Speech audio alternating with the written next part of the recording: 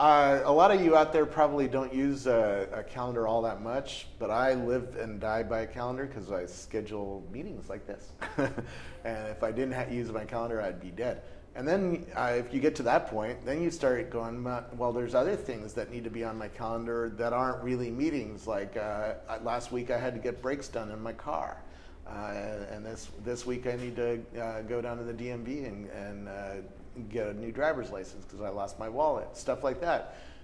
Well, they're not really time based because you don't yet have a time for them, but there are things that need to be done this week before you go on vacation or something like that. And there's and using these calendars to do that, you you can sort of do it, but it's not nice and it's not easy, and it, and it doesn't start uh, moving that thing around based on whether you did it or not. So we need a new uh, system for our calendars and our to-do lists, and that's what Timeful is going to show us right now.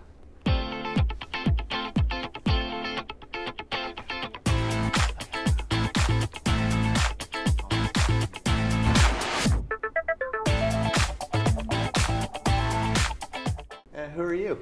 My name is Jacob Bank. I'm the CEO and co-founder of Timeful. Before coming to Timeful, I was in the PhD program in computer science at Stanford where I did research in the artificial intelligence lab on machine learning and data mining, became interested in the problem of time management, um, and ended up starting a company with my two academic advisors, Yoav Shoham, who's a professor in the AI lab at Stanford, and Dan Ariely, who's a well-known behavioral economist at Duke. Yeah, yeah, I, I just talked to Dan at a, a conference recently.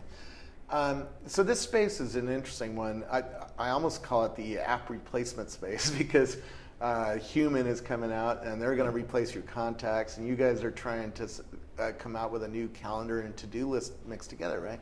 So we don't think of it quite that way. We started with we started with the problem of time management. Yeah. What are the mistakes that people make in time management? I procrastinate. I waste my most productive hours of the day on email. I forget to go to the DMV. Um, and we looked at the behavioral mistakes and where people need help in managing their time. And then it turns out that a lot of the reasons that people make bad time management decisions is because their calendar and to-do lists aren't doing enough to help them. So we want to build, the tool we're building by chance does replace the calendar and to-do list, um, but the real goal is behavior change, not just changing features. It, it's interesting that a lot of people don't use the calendar because it feels like work. It, it, it yeah. feels like you're filling out a database, which is sort of what, you really what you are doing. Totally. You know, putting in a, a calendar item for this meeting and uh, yeah. putting in you know where it's supposed to be and if you really fill it out completely, it's a, it's a bit of work to do that, right? Tons. So the calendar is a funny one because it's really a receipt of time you've already spent. Yeah. You, you agree over email or by text to meet, and then you enter all the details in the calendar just so you don't forget. It'll send you an automated reminder. It might do a couple other things for you. Um, but it's a lot of work to put it in the calendar and not that much value that the calendar is really bringing to you other than not forgetting and binding you to the commitment. What, what we're trying to do is figure out how we can, with little bits of user work, provide the user a lot of value. Yeah. Um, you specify something once, that you want to do. Let's say you want to read more. You can specify in Timeful, I want to read five times a week, and the system forever will find you time and slot it into your schedule.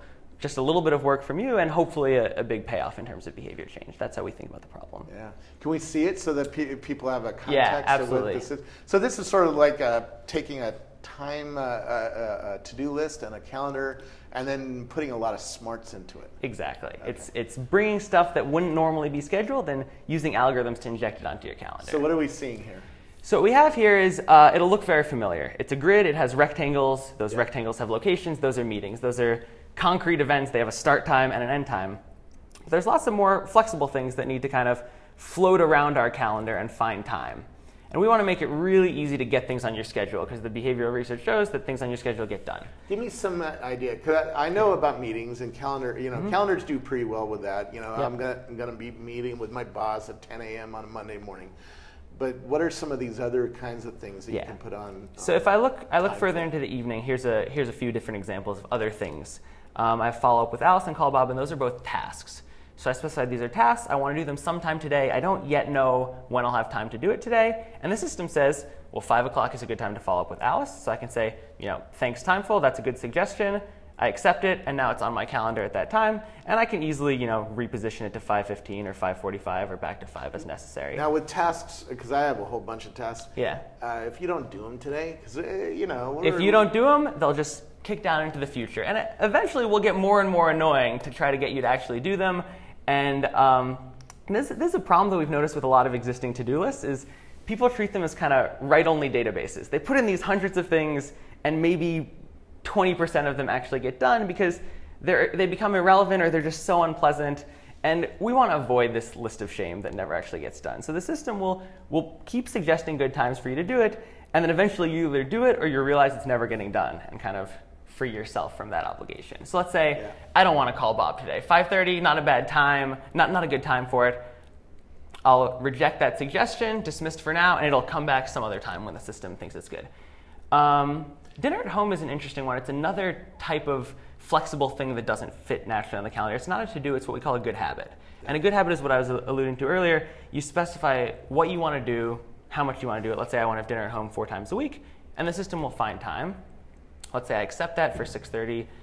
And when you check it off, with these, you can do some accounting and you can see how well you're doing over the course of the week. And then historically, you can see how well you're doing over time at building these good habits. That's cool. Does it uh, work at all on location? Because if I put something like buy a screwdriver, yeah. uh, which might be a task, but it's not an important task. It's not something I have to do like in the next yep. week. It's just, hey, I, I noticed I, uh, I broke a screwdriver and I need a new one. Um, could it put, could it warn me when I'm near a, a hardware store? Hey, you, you put a, a yeah. screwdriver on your. We think uh, we think really deeply about kind of the context people are going to be in when they're performing tasks, and that can be the location they're going to be in, or it can be their cognitive state, whether they have a lot of energy or low energy. Yeah. Um, location right now, we're really optimized around home and work. There's a class of tasks you can do at home, and there's a class of tasks you, you can do at work. Yeah. And we want to be good at making sure we don't suggest things in, in the wrong place. But as you point out, you know, going forward, there's many other classes of locations that are relevant to certain tasks. Anytime I'm near a grocery store, remind me to buy milk, et cetera. There's lots of cool things we can do. So yeah, stay tuned. Okay. Um, is this a free app? Does it? It's a free app. Okay. Yep. Um, iPhone only at the moment. At the moment, are you thinking about Android? That, Android's, an, Android's a crucial platform. We all know it. I'm not ready to make any announcements there yet. Okay, that's always uh, somebody's going to bother me in the comments. yeah. Why aren't they doing it on Android? But uh, I, I, hear this over and over again that uh, entrepreneurs build on iOS first, prove that the, there's a market, prove the use case, and then uh, build a team to copy it and put it on on Android. Yeah. Um, what else do we need to know about it? I, keep going. I, uh, uh, um, show so, me some of the yeah. So, so, so, so another important thing is so far we've talked about getting things that weren't previously on your schedule onto your schedule so, that, so you get them done. Another part of the time management problem we're really interested in is freeing you from obligations that aren't naturally that aren't actually a good use of your time. We hear over and over again people say, "I'm in too many meetings. I'm in too many meetings. I'm in too many meetings. They're not a good use of my time." Give me a, a taste of how you do this. Yeah, so this. let's say that because Google Calendar, if you yeah. just have five meetings on your calendar today, they're cold, uh, it, right. it, treats them all. They clutter up, they get stacked. It's annoying. So let's say Design Jam, this meeting from three to four. Uh, I'm more interested in the back end weekly meeting. I'm not such a designer, so I want to do what's called sidelining. And what sidelining does is it pushes it to the margins of my calendar, so I can still see that there's something there, but it's not in the foreground cluttering my calendar as a major commitment. So I can I can check in. This is good for like for my information kind of events. And we've seen this used in a lot of ways from meetings where you're an optional attendee to games in the World Cup that you want to track. And now that I've reclaimed this time, I can take, you know, work on presentation and fit it nicely into that slot, for example. Because um, this is, we think a lot about opportunity cost. Time is a really hard resource to manage. You can only spend your time on, on, one, on one thing at a time. Um, and if you're in that meeting, you're not working on that presentation. And yeah. because the calendar only shows some tiny subset of things you need to do, it's really hard to reason about what you're missing out on. Now, and that gets to what, where you're building a company around this and, and yeah. where it has some defensibility. I, before the cameras came on, I joked with you, you know, Google could add to-dos to calendars and, and yeah. take away some of your reason for existing pretty easily. You know, they haven't innovated on the calendar or mm-hmm. the contact list if you're human for a long time. And I, I assume that, you know, if they got motivated, they could do that. So we don't think of it so much as, you know, tacking features onto the calendar, just bringing to-dos into the calendar. There's a couple key technical innovations that we think are necessary to get time management right. The first is a, a, data modeling exercise, which is how can we take all these different things that have very different properties, locations, times, and put them into one model that allows you to reason about them. If you just have the approach of a calendar and tack on to-dos, you're never going to get the, the deep unifying data model. And second, the system needs to actually help you sort through this, this mass of things. Every calendar and to-do list out there right now is just a repository of stuff that you put in, and you can manually reorder it. But um, time management is just too tough to leave it all to humans. We need algorithms to help us, and that's our second main kind of technical contribution based on some work we did in machine learning and data mining to understand these things need, you need to do and help you put them on your schedule. Now, this hooks up to the Apple Calendar on the iPhone? Exactly. So if, uh, if I already have a meeting on the Apple Calendar, which might have come from Exchange or, or Google Calendar Google or Yahoo. Yep. So a- Apple pulls in pretty much every major calendar service. They present it to us. We take those in and we, we, we sync back both ways. So you can use your existing calendar on desktop and iPad as, as So if you sideline something, what happens on the Google Calendar? on Google Calendar, it still looks like a normal event. So it's, it's actually Ah. really funny. My, I have, I'm a huge user of sideline calendars for sports schedules and shared calendars. So I have, you know, at every time three or four sideline events. And when I go to my Google Calendar, it's just a complete, it's a mess. It's, it's chaos. But we'll, we'll get to the web sometime soon. yeah. The um, do you bring in Facebook events? Because a lot of people are planning events on Google Plus or Facebook or Yeah. Eventbrite, right? Most people that, that we've seen have already linked their Facebook calendars into iCal by installing the Facebook app on their phone. So we get those. That's another really common place people use sidelining. Their whole Facebook calendar comes in as sideline events, and then when there's something they actually want to go to, they promote it to a full event, and then it comes into the main focus of the screen.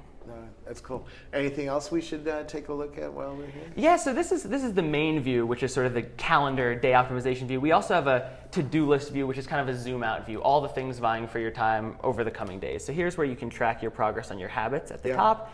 And then you scroll down, you see the stuff for today, you see the stuff for tomorrow, and then you see the stuff for off into the future, and then an archive of your completed tasks. That's where you zoom out and do more long-term planning. Yep.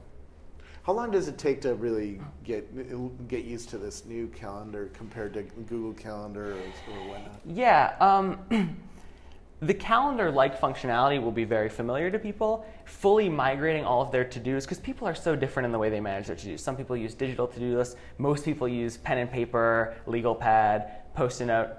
So what we see is it kind of takes a couple of days of really um, investing and learning the system, and then once people put in those two, three, four days, they're hook, they're they're hooked and, and stay. Yeah. Um, are you gonna do an API for things like IFT? Because IFT is already when I check in on Foursquare, it, Yeah. it IFT IFTTT uh, looks at uh, Foursquare, says, "Oh, I'll put that on the calendar." Because uh, three months from now, when I'm doing my expense report, I look back at.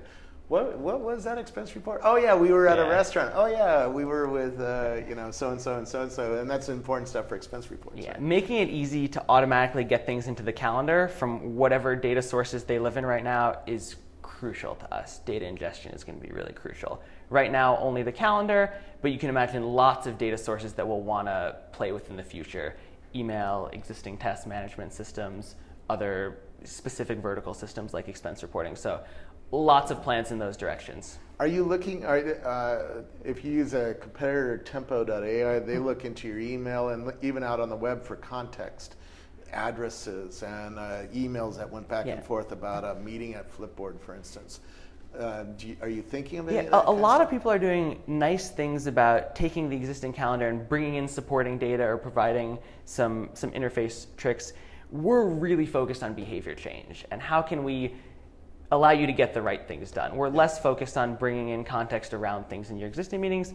Certainly, eventually these are features we'll consider, but right now it's it's all about behavior change. One one thing I do like about Tempo is they found uh, if you're in a conference call, Mm-hmm. they found the conference call number and then the ID number that you always have to punch in to join the call, right? Do you do things, nice little things like Quick that? dial feature in, in development coming Okay, soon. cool, cool, cool. So yeah, going down your feature list. What else is on your feature list?